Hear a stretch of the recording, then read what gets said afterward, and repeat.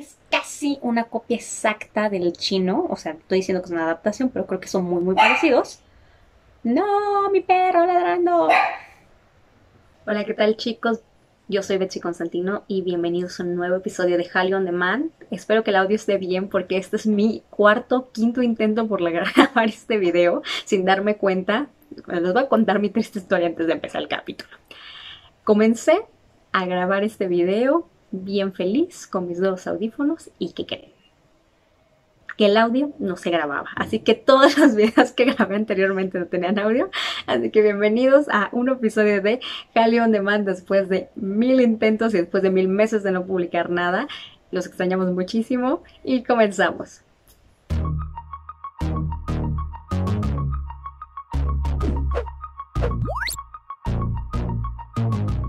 Y bueno, eh, platiquemos un poco, además de mi desgracia del video, eh, platiquemos un poco del drama que vamos a reseñar el día de hoy. Vamos un poco tarde, porque la verdad es que, ya saben, siendo muy honesta, la vida de adulto es complicada y por eso era un poco difícil grabar un video.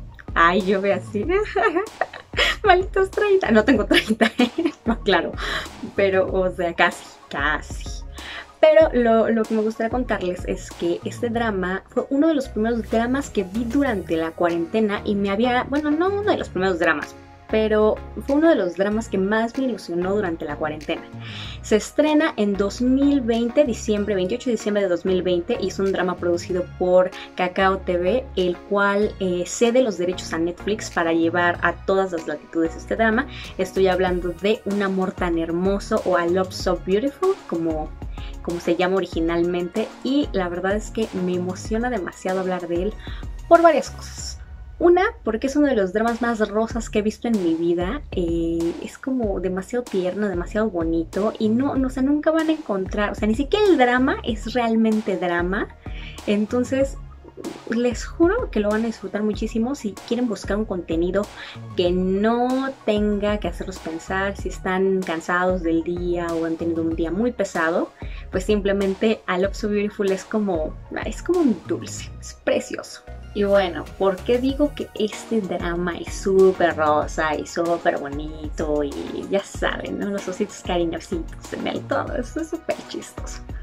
Bueno, eh, vamos a empezar un poco a hablar del elenco. Eh, este drama coreano es una adaptación. Recuerden que yo siempre hago mucho énfasis en la parte de que es una adaptación y por lo tanto no va a ser igual. ¿No? Eh, una de las cosas como, creadora de contenido que siempre me, me, llenan como de mucha rabia cuando veo reseñas es, pues no, obviamente no es lo mismo, cambiaron la historia, pero por eso justamente los guionistas y los productores hacen mucho énfasis en que es una adaptación. Por lo cual, pues no sería una adaptación si no le meten de su cosecha o si no le cambian un poco la historia, ¿no? Así que simplemente esta adaptación es la parte coreana o la versión coreana de el drama chino con el mismo nombre, Love So Beautiful. También lo pueden encontrar en Netflix. Yo recuerdo que lo vi hace un tiempo en Netflix, que es una cosa divina y preciosa. Eh, hablemos un poquito del drama chino y demos un poco de contexto. Este drama fue protagonizado por Shen Yue, Shinjue. Señores, ustedes la conocen perfecto, lo ubican perfecto. Es la protagonista de Jardín de Meteoros. Esa es otra reseña que ya algún día haremos, ¿no? Platicaremos de las cuatro versiones que existen. Eh, Jardín de Meteoros, que era Hana Yoridango, o Boys Before Flowers, o esta que es Jardín de Meteoros, la versión china. Y por ahí creo que hay una tailandesa o taiwanesa. Por favor, escríbanmelo en los comentarios. Y eh, muy, muy sencillo. Esta versión coreana no lo sé. Tengo mis sentimientos encontrados. Así que en un segundo les voy a platicar por qué. Hablemos un poco del el reparto. Hay dos actores eh, que realmente hemos visto en varios lugares. estoy hablando de Kim Jo-an, parte de X1, uno de mis grupos favoritos en la vida y que ustedes saben que gracias a la tragedia del fraude de, de Produce, pues bueno, tuvo que separarse la agrupación, pero bueno, no vamos a hablar de esto porque si no, pues quiero llorar, ¿no? O sea, no, no quieren que Betsy llore en el video. que eh, personifica a Chajón, eh, de nuevo espero que para todos los puristas del coreano esté bien pronunciado, que es un chico súper modelo, ¿no? Es el mejor de la clase, bueno, los deportes, súper guapo, ya saben, el, el perfecto, el típico que siempre vemos estas historias de secundaria.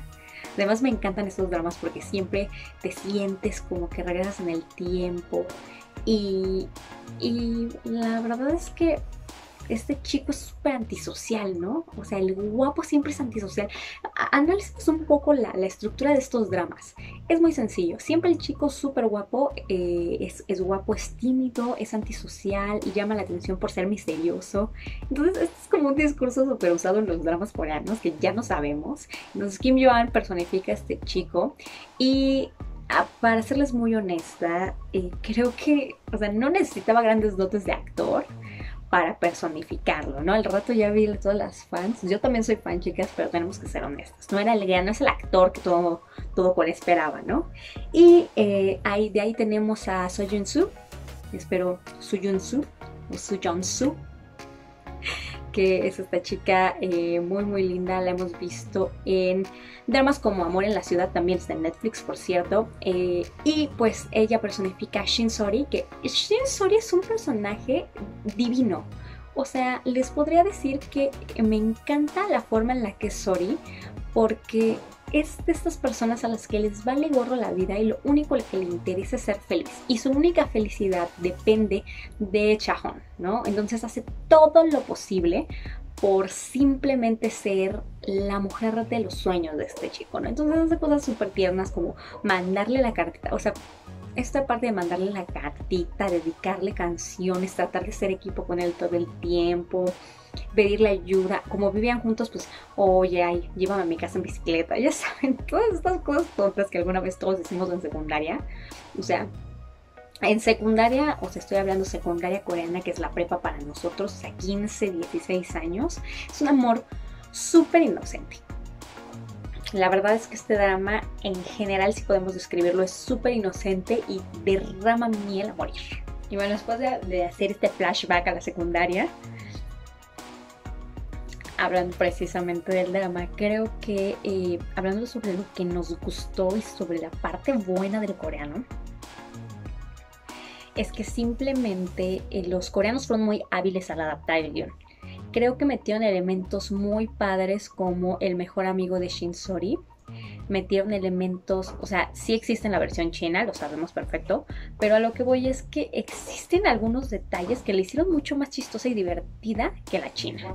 En la china de repente pecaban mucho de drama, ¿no? O sea, demasiado drama, demasiado bonito, etc. Aquí yo siento que simplemente fue mucho más real, como situaciones más cotidianas y por eso creo que me gustó mucho más la versión coreana.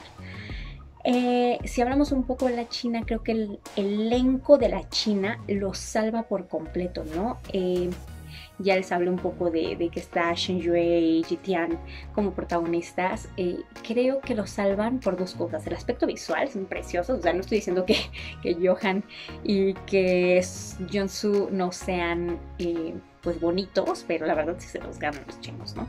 Y en la parte eh, básicamente de la historia, definitivamente los coreanos ganan. No sé si existe otra versión de esta, de esta novela. Yo estuve buscando si había una tercera versión para poder verla y hacer el video, pero la verdad es que no las hay. A pesar de que es un triángulo amoroso, esta novela lo que me encanta es que la protagonista nunca, nunca da su brazo a torcer. En otros dramas regularmente vemos que ya saben, ¿no? Esta chica, es que estos son los patrones de los dramas que siempre no caen mal, pero es como de, ah, pues no es nada novedoso, ¿no? O sea, esta parte del trío amoroso en la cual siempre hay dos guapísimos, por cierto, que quieren con la protagonista, que es terriblemente... Eh, ¿Cómo llamarla? Desafortunada ¿A qué me refiero con esto? Esa tendencia no de la cenicienta, pero de siempre ser la chica que no es buena en la escuela, la chica más torpe, la chica con bad luck, ¿no? O sea, súper mala suerte, es huérfana, ¿no? O sea, no, bueno, en este, en este caso no es huérfana, o chica pobre también, ese es otro, un clásico. Entonces estos patrones que ya son tan absurdos en los dramas que ya cuando los ves dices, ah, sí, drama coreano, ya no importa, ¿no? Entonces esto pasa en A Love So Beautiful, hay muchos ¿cómo llamarlos? Estereotipos, arquetipos, en los cuales pues no nos sorprenden para nada. La historia eh, no nos sorprende, sin embargo creo que eso lo hace divertido, por eso es rosa, ¿no? Y en la versión coreana pues no dudan y la protagonista nunca quita el pie del, no sé si el dedo del renglón, el pie del renglón. el dedo del renglón y simplemente busca su meta, ¿no? Conquistar el corazón de Chajón. Chajón, me encanta el nombre. Otra cosa que está así buenísima del drama y yo creo que por lo que se volvió tan popular fue porque, eh, disculpen, esto sí es un spoiler, eh, no, sí es un spoiler sote. Bueno, hay un aspecto eh, sobre un baile, estoy tratando de minimizarlo de la mejor forma para no spoilerles, un bailer que, un bailer, un baile que se del final del drama y que simplemente se volvió viral en TikTok, ¿no? Y además algo que me pareció muy curioso es que, o sea, anduve checando el trend y eh, cuando estaba yo por ahí me di cuenta de que muchos chicos, o sea, hombres, les encantó ese bailecito y vi cien mil versiones de los chicos, así de cómo lo haría yo, ¿no? Entonces ahí creo que aprovecharon el encanto, la magia, la inocencia del drama para meter este elemento que se volvió súper viral y entonces la gente empezaba a ver eso y decía, bueno, ¿y esto de dónde es o de qué drama es? Y eh, su popularidad o la popularidad del drama explotó por ahí de febrero, ¿no? O sea, creo que realmente el drama supo aprovechar estos elementos que muchos podrían eh, considerar como sosos, yo los considero como clásicos de la cultura coreana o clásicos de los dramas coreanos, ¿no? O sea, si comparamos un poco, y creo que lo habíamos estado comentando también cuando hablamos de, de Startup, que los dramas se han ido eh, innovando, han ido cambiando sus particularidades. Entonces, algo que nos gusta de este drama es que aprovechó esos elementos, se volvió viral en redes y entonces se volvió más popular y eso trajo más vistas a Netflix, etc. Y pues nada, o sea, se han ido innovando y regresar a eso, o sea, la particularidad que yo creo, o más bien este elemento fuerte es, tomo esos elementos tan bonitos, tan sosos, tan cute, tan inocentes de los dramas de hace 10, 12 años y lo traigo de nuevo. Entonces, creo que eso le da una magia gigante al drama y lo hace increíblemente tierno. Otro de los elementos buenos de la historia coreana es la paja. La paja que tenían en la China, no, o sea, en la China, si ustedes se animan a ver la China, van a entender a lo que me refiero. Había algunas cuestiones de la historia en las que da flojera. Eh, y, no, o sea, son fans de la China, no me maten, pero siento que había cosas innecesarias, ¿no? O sea, demasiada explicación durante el guion que después, o sea, no regresaba o no tenía sentido en la historia.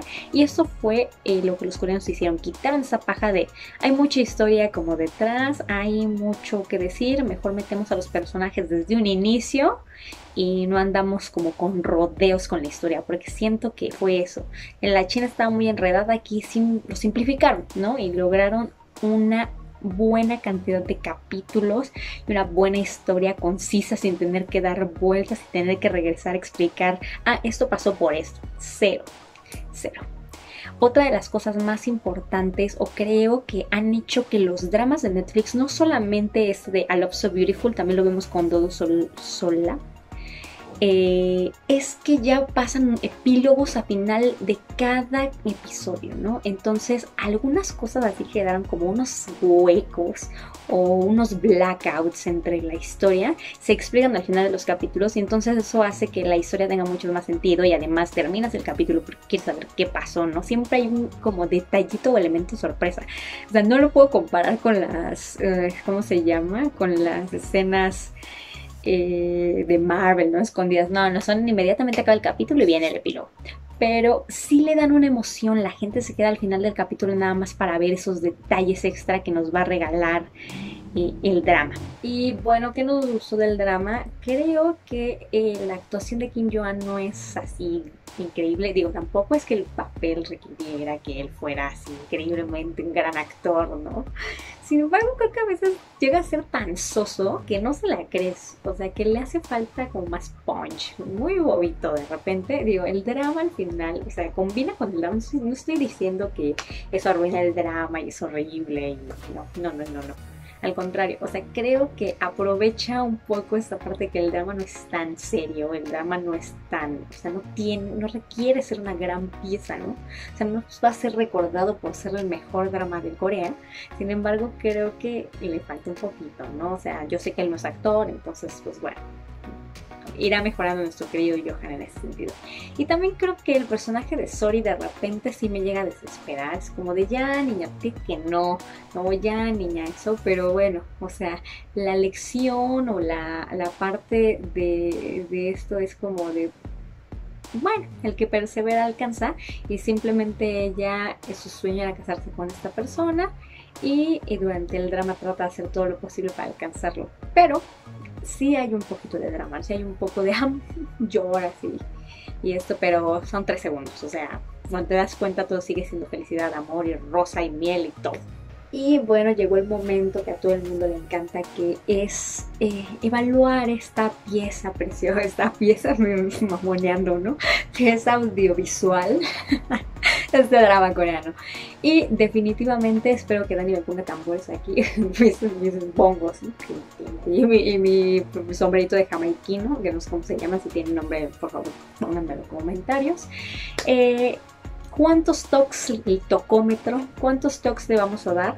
Pues muy sencillo, le vamos a dar cuatro toques. Cuatro. Creo que, insisto, para mí eh, regresar a la inocencia de hace 12 años fue brillante, ¿no? Y también creo que el tocómetro eh, se debe a que el elenco es bueno, es muy divertida y cumple su propósito, ¿no? Ser una pieza totalmente liviana y ligera, es una comedia romántica totalmente, si podemos ponerla en algún género, una comedia romántica que se alinea mucho a pues los contenidos para adolescentes, ¿no? O sea, puede verla eh, cualquier persona a partir de los 12 años, si no me equivoco, entonces pues bueno, está dedicada a este tipo de público.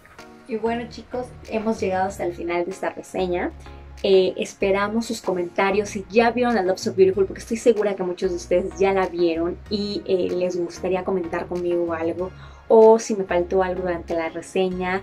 Eh, sé que no mencioné a varios de los personajes importantes, ¿no? Como Jiwan, el amigo, como la, otra amiga que es como súper buena y súper atlética y todo, y a The Song, que es el tercero en discordia. Eh, puedo platicarles un poco de, de The Song, The Song, que es el, nadador, el amigo nadador que se enamora de ella también, es el tercero en discordia.